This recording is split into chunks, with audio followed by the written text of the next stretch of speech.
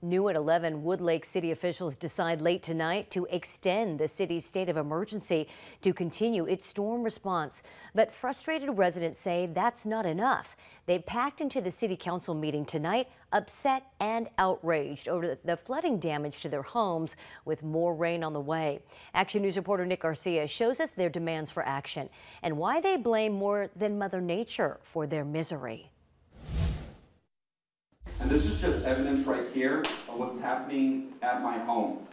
With the reconstruction and so on, that's insulation in my home. If I rebuild it, can you tell me that it's safe in my area?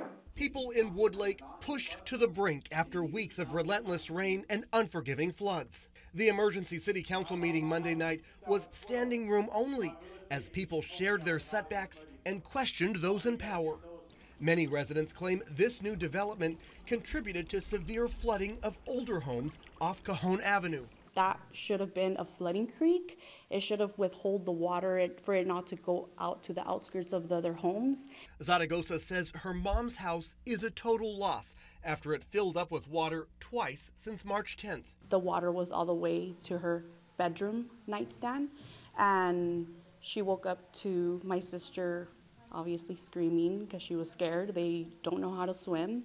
She was one of several who asked the city to look into the construction of the new homes. The city of Woodlake said in the meeting that it was not a defined creek and all the proper measures were taken before construction began. It's been constant sleepless nights just worrying about hey, are we going to get hit with flooding again? Like, is this going to happen? And so it, it's a fear that I, I'm pretty sure everybody's having at this moment. Families impacted by the flooding now clinging to hope that the worst of the damage is done. But with more rain in the forecast, they're afraid of the unknown. City officials say they're waiting for assistance from FEMA and are doing what they can in the meantime to help residents find financial resources as they brace for more rain. Nick Garcia, ABC 30 Action News.